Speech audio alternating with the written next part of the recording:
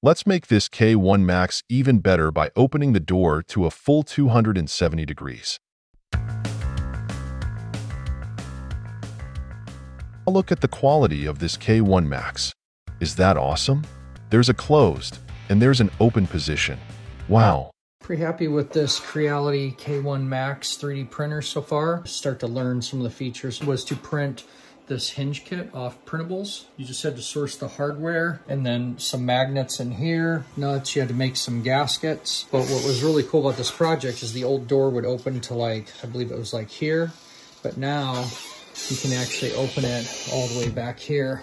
Another thing I sourced was, my buddy gave me a foam magnet the other day, so that worked out handy.